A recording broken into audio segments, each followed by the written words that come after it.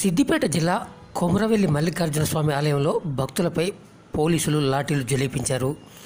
ఇక్కడ శివరాత్రి రోజున స్వామివారికి వేసే పట్టణానికి ఎంతో విశిష్టత ఉంటుంది. రాష్ట్రం నలుమూలల నుండి ఈ ఆలయానికి వచ్చే భక్తులు పెద్ద పట్టణాన్ని తొక్కడం ద్వారా తమ బాధలు తొలగిపోతాయని భావిస్తారు. ఏర్పాట్ల వైఫల్యం కారణంగా పోలీసులు పట్నం తొక్కడానికి వస్తున్న భక్తులపై ముఖ్యంగా మహిళలను చూడకుండా లాఠీ చార్జ్ చేయడం పట్ల తీవ్ర ఆగ్రహావేశాలు వ్యక్తమవుతున్నాయి.